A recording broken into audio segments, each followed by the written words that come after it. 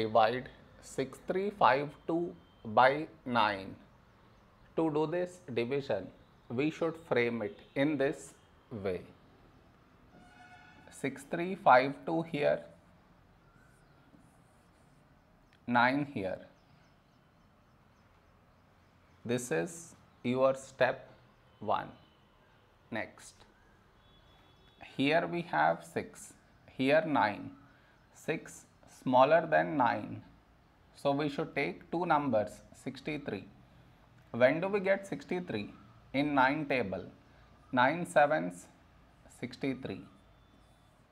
Now we should subtract. We get 0. After this, bring down the beside number. So 5 down. Here we have 5, here 9.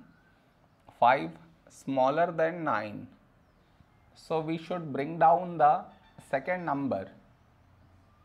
And the rule to bring down second number is put 0 here.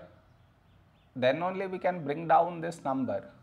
So 52 a number close to 52 in 9 table is 9 fives 45